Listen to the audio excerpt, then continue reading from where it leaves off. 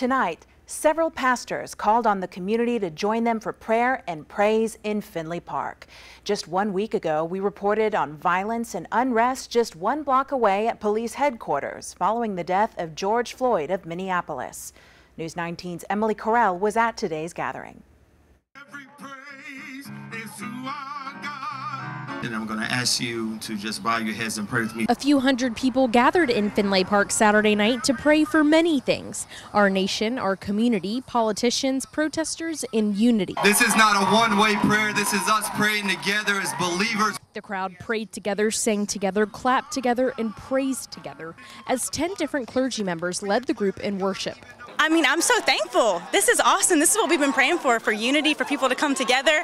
And I mean, this is just exciting.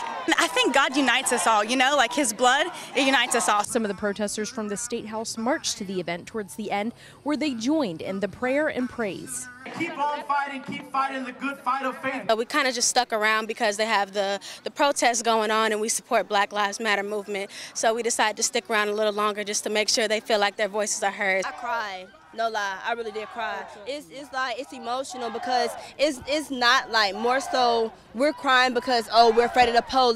We're crying because we're black. We've been hurt for decades. You know what I'm saying? Like we've been feeling this for decades, and we are tired, tired. Like protesters, community leaders, church members, and more joined together in a much different scene from last Saturday's events. So we really just came out just to praise God, to show people that you don't have to just take action and pray, but you can do both. Um, so that's why we're here. That's why we're standing here.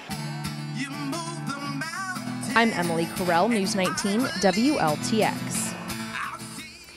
City of Columbia leaders were also present for prayer in the park. We spoke with Columbia Councilwoman Tameika Isaac Devine about the turnout and her thoughts on protests this week.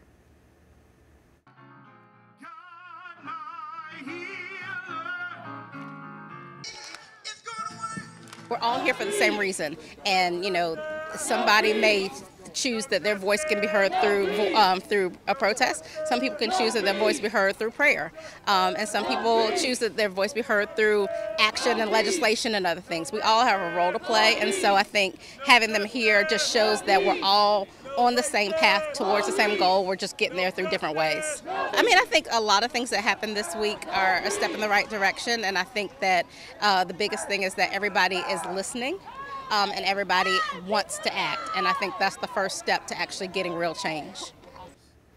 Mayor Steve Benjamin and Councilman Sam Davis were also in attendance. Meanwhile, protests continued at the State House today. Crowds continue to speak out against police brutality. We spoke with a few protesters who tell us they hope their message will get across that real changes need to be made to eliminate police brutality around the nation amazing because we thought it was gonna be like a one or two day thing and then you know people would die down but this was honestly the last straw. And now that I see that more people are out here and more people are taking it seriously they're finally hearing us they're finally seeing us like things are gonna change and that's what we need. Oppression and it's not right that every person and black people and minorities are fearing for their lives just stepping out of the house when white people can walk out of the house and it can be 100% okay and I don't like that and we see it every day whether you're in the military or out of the military or you're living an everyday civilian life, we're oppressed and nobody wants to recognize it. So it's about time for us to really take strap up and take our own stand for what we believe in.